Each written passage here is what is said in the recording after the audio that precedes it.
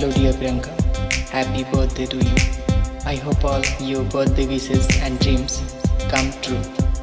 So, let's start. One, two, three, four.